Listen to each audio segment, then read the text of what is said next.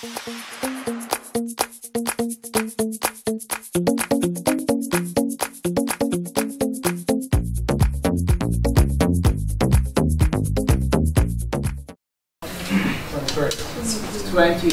Yes. Good. So you are, let me close the door here. So my name's Marc. I'm uh, the CEO of this company here you're visiting. So this is the headquarters of Ringier. Ringier is um, a family-owned company. A bit older than a startup. I hear you are all entrepreneurs. So Ringier is 180 years old. 180 years. So that shows you that um, being a media company, having done newspapers and magazines and printing plants for 180 years, we are in the middle of transformation now. People read less newspapers and less magazines, uh, and uh, I come in a second to what we did. You have to imagine um, we are a company with about 7,500 employees, and they were working in that sector, journalism on news on paper. And had, we had to do the whole transformation. And Robin, who is here with me, Robin is a member of the group executive board, and he runs all the marketplaces uh, business for plus he's the CEO of Ringier Africa. He will especially talk to you about our businesses in Africa where we started five years ago, five and a half years ago. So back to the group, um, just in two sentences, we invested close to $2 billion into digital businesses, mainly marketplaces or classified businesses uh, in the verticals jobs, cars, and real estate, plus of course horizontal marketplaces. That's our main investment. Then of course we're trying to bring all these legacy brands, newspapers and magazines into the digital world. That's our second um, ambition that we want to do. We did also do investments in e-commerce, also in radio, even sports rights. So you see quite a broad diversification which was necessary to have um, less dependency on our legacy business, which again was newspapers and magazines. So that's the story about Ringier. Then there's a story that um, um, I initiated two and a half years ago. Um, it's called Digital Switzerland. Now the story behind that, and Nicola, who is uh, in the blue shirt, he's the CEO of this um, uh, initiative. Digital Switzerland's um, goal is to make Switzerland a leading digital hub in Europe. Now Switzerland has a very strong economy. We are in a lot of indexes. We are number one or number two or number three position, like uh, competitiveness, etc. But digitization changes everything. So if you have been good in, let's say, banking and insurance, um, and have, have, have built a great cluster for that, for example in Zurich, that doesn't mean that in 10 years you will still have a strong economic cluster. So the ambition we have with Digital Switzerland is to create a digital hub within Europe. We started with five or six um, companies and institutions uh, joining us, and we have now 80 or even 80 plus, 80 companies um, joining the initiative. Nicola will talk to you about what exactly we're doing. So that's it from my part. Um, I think I hand over to Robin, and then we hand over to Nicola, and I'm happy to sit somewhere and then see the um, kind of uh, short presentations of you guys. Thank you for being here. Hi everybody, my name is Robin. Uh, since today responsible for all our marketplaces uh, globally. Uh, already for more than four years, uh, also a CEO of uh, what is Africa and Asia. why is Ringier in Africa? Maybe Marc, you missed that point. Um, Ringier, um, besides nowadays being a, a digital company and formerly a traditional publisher, etc., etc., uh, is also um, kind of an expert in emerging markets. It's at least what we are considering ourselves. We started more than well, almost 30 years ago, so uh, late 80s, early 90s, doing business in Central Eastern Europe as absolute first movers uh, in countries like uh, Czechoslovakia, Romania, Poland, etc. Early 90s, we went to Vietnam China, but nobody uh, went there. Um, not easy, but uh, we succeeded in those countries. Uh, over three decades, we learned how to do business in early stage markets. We learned what kind of attitude, vision, long-term strategy is needed. and also, uh, we learned something about patience. We learned something about uh, political hiccups, not only in Africa, but 20 years uh, before in many, many uh, other geographies. So we felt, hey, Africa, uh, obviously learning about the, the, digital revolution taking place on the continent as well, we thought, hey, Africa, with our DNA, with us not necessarily being a financial investor, but being operators, being uh, startups ourselves, being uh, interested in operating in the long term, Africa could be a good place to deploy uh, and start and, and bring also the technologies, the digital know-how that we built and acquired uh, the, the, last 10 years. So uh, we started there five, six years ago um, uh, in a very entrepreneurial way, just building a network, learning about the local markets, um, observing the first two years. it was with very little investment, very little support from headquarters. It was just being there, looking around, learning how to maybe adapt business models that we know from elsewhere uh, in order uh, uh, to be successful on the local markets and, and, in order to match the needs at the end of the day of the African client and consumer. after two years, we uh, finalized this initial phase and, and, started investing more heavily, more seriously, uh, and supporting also from headquarters more seriously those businesses focusing completely on what we can best globally, which is classified, which is digital publishing, at this time also e-commerce, there we have not been so successful honestly, uh, or at least not as successful as with digital publishing and uh, uh classified, and we started also building uh, digital marketing agencies. So I think many of you uh, know some of our brands uh, on the continent. Who is from Senegal? So you know maybe uh, Expat-Dakar. And this is a brand where we did not start it from scratch, but we, we partnered with local entrepreneurs um, who is maybe from uh, Ghana or uh, Nigeria knows uh, Pulse, our media brand that yes, we started from scratch.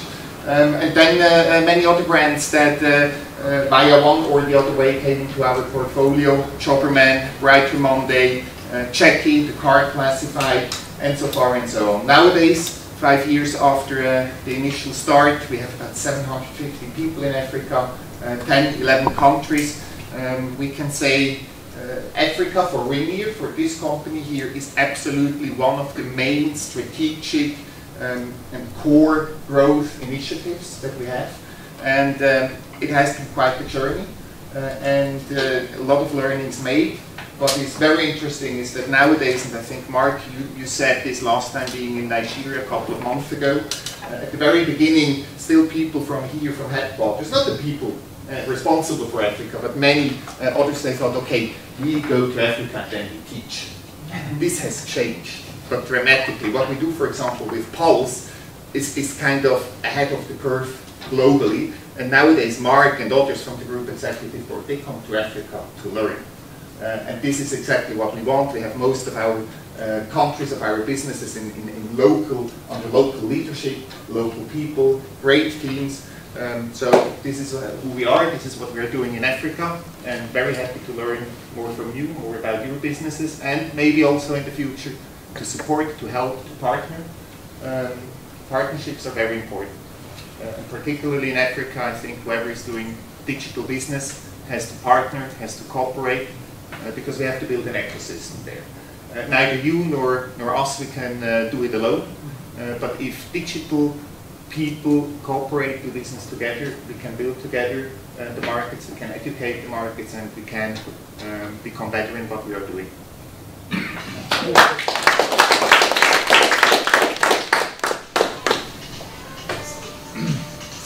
Make it so long, guys, because after it's priority for your time until 5. I uh, just wanted to show you two or three things about Digital Switzerland. Um, as Marc said, we have a good economy, but still it changed so quickly.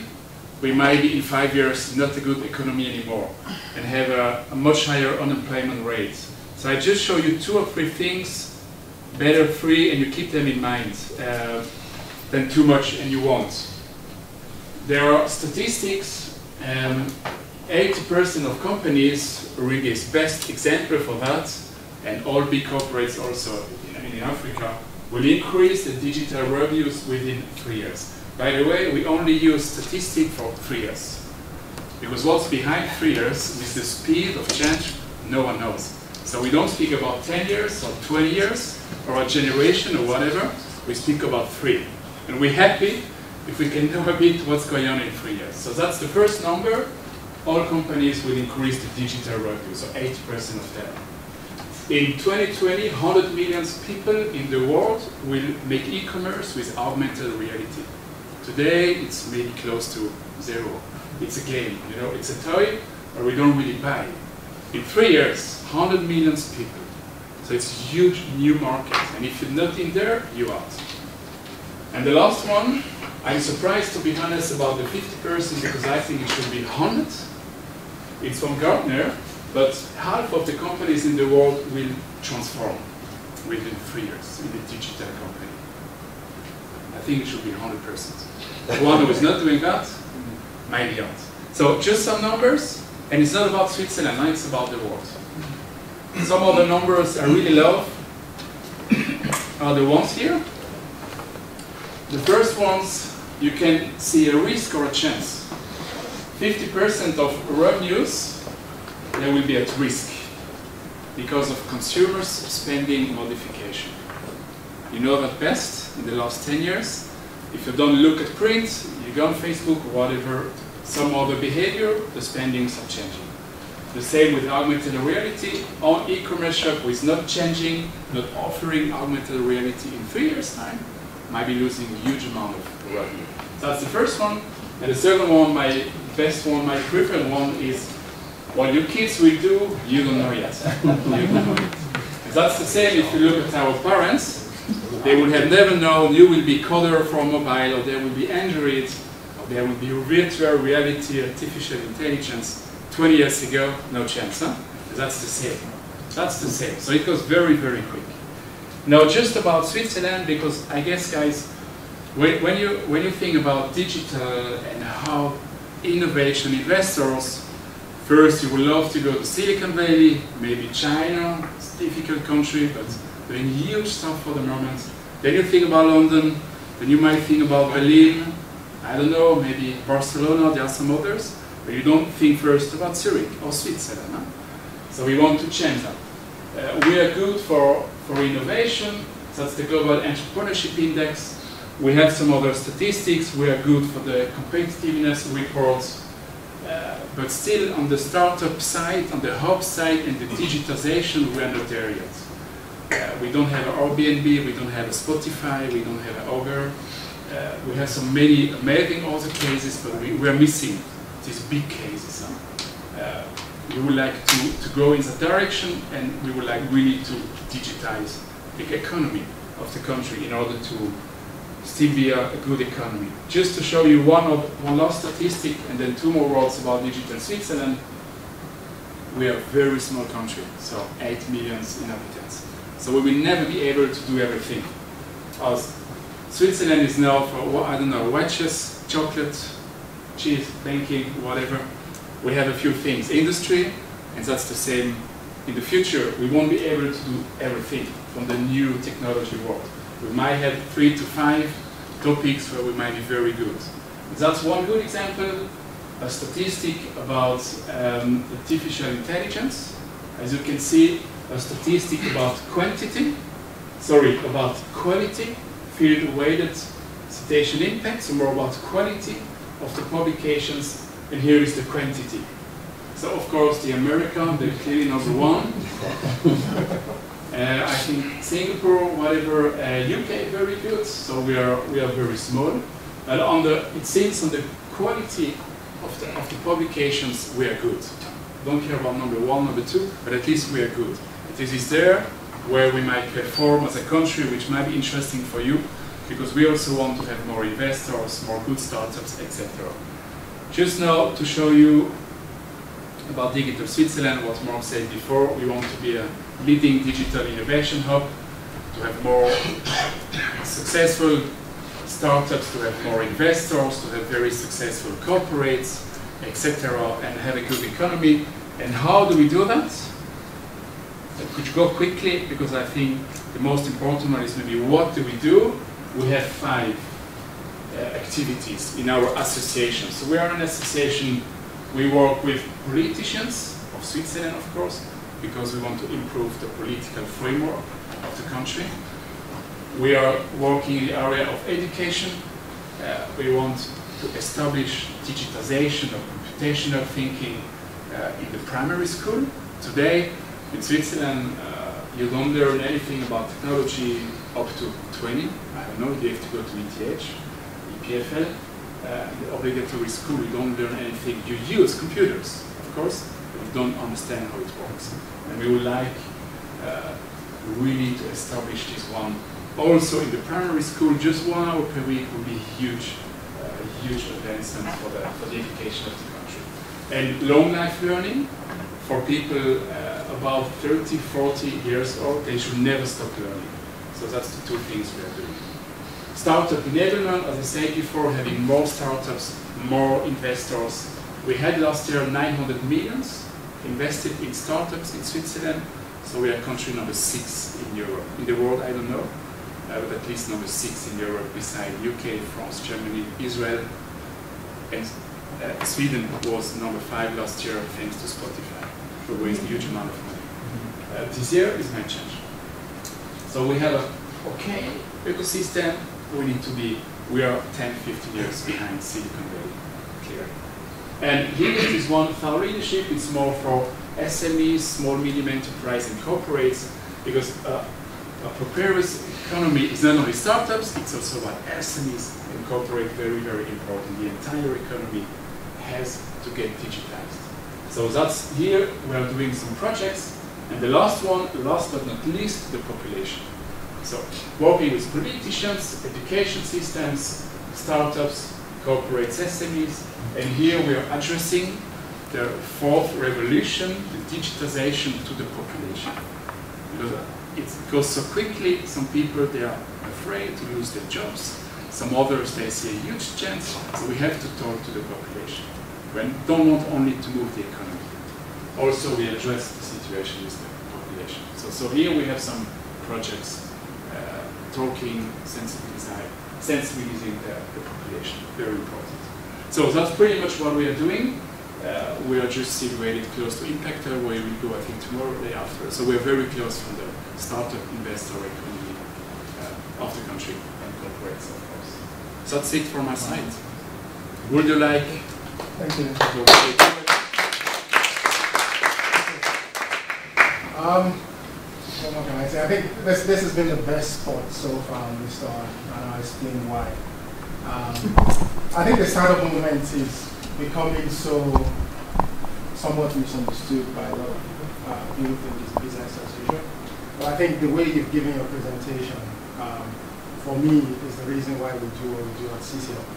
Uh, we think technology is about the future, not just today. And every society, every business needs to find ways to catch up on it. Um, while Africa may not necessarily have a strong base to build technology, there are so many things that we can bring to the table. And, and that's the excitement for what we do. And that's why we're excited about all the entrepreneurs in the room as well.